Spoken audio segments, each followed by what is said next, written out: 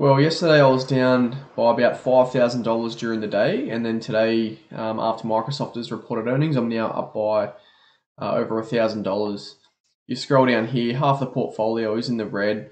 Um, however, Microsoft is up by 2,300 as we speak. It's currently still moving, so it's up 7% um, in the day.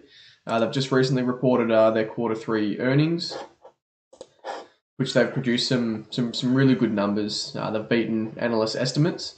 Um, so stock price is currently trading at two hundred and ninety five dollars, and there you can see that surge at the very start of the day, and then uh, throughout the day or throughout the trading day, it's remained fairly flat. Um, but in regards to Microsoft in my portfolio, so it's currently got a 0.99% dividend yield. I've got 118 shares at an average price of $173. A total equity of just under $35,000 thanks to this morning's effort, um, which total profit is $14,400.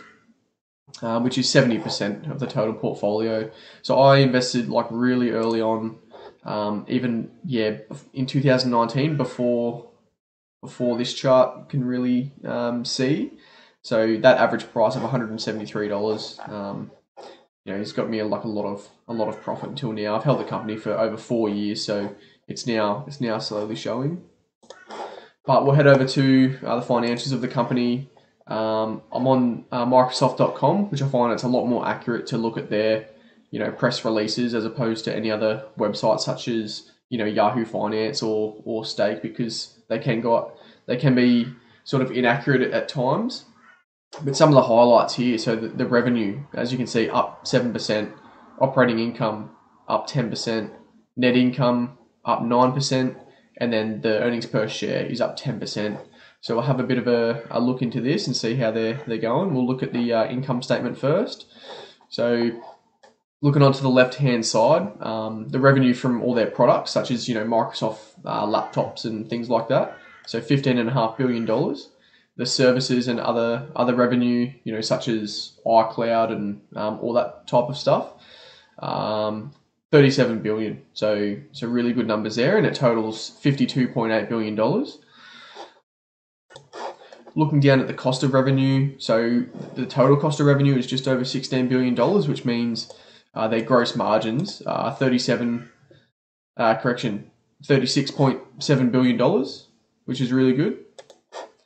And then scrolling down, the net income, just over $18 billion, which, you know, you can see from um, 2022, uh, they received 16 billion, so it's an increase in just over 1.5 billion dollars, roughly. Uh, earnings per share reported 2.46, uh, so two dollars and 46 cents. Um, you know, which last time was $2.23, so good increase there.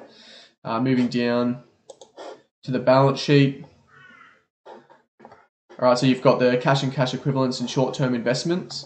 So with the cash, um, they've reported $26.5 billion um, as opposed to $13 billion um, in June 30 of 2022. So massive increase there, although the short-term investments have have decreased. So it's, you know, thirteen billion dollars difference in each category. They've probably just swapped around a couple of um couple of numbers there, uh, massaging the books as they say. But looking down to total assets, three hundred eighty billion dollars, and then the total liabilities, you know, one hundred eighty five billion dollars, which is really good. It's definitely in the assets uh, favor.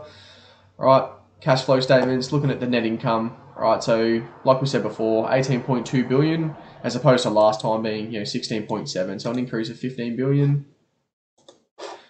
So that's uh, the financials of the company. Just want to talk about one thing uh, yesterday. So the, the earnings report came out um, at the start of uh, yesterday, and and it you know everybody saw those really good earnings that they reported, and yet the stock price still you know trended down you know two point two five percent.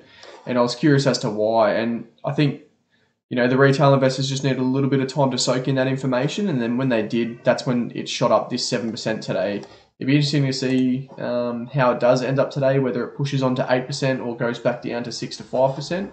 Um, be waiting out for that. But in terms of um, when I'm going to buy uh, or you know add more funds into Microsoft, I think I'll wait out um, this bull run. We'll see how it goes. My target price is anything under $200.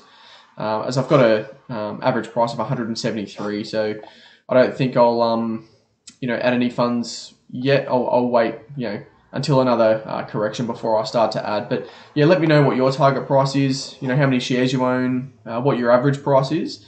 Uh, let, let me know down in the comments below. But if you did like the video, make sure you, you thumbs up and subscribe. Uh, it really helps out the channel, and uh, I'll catch you next time.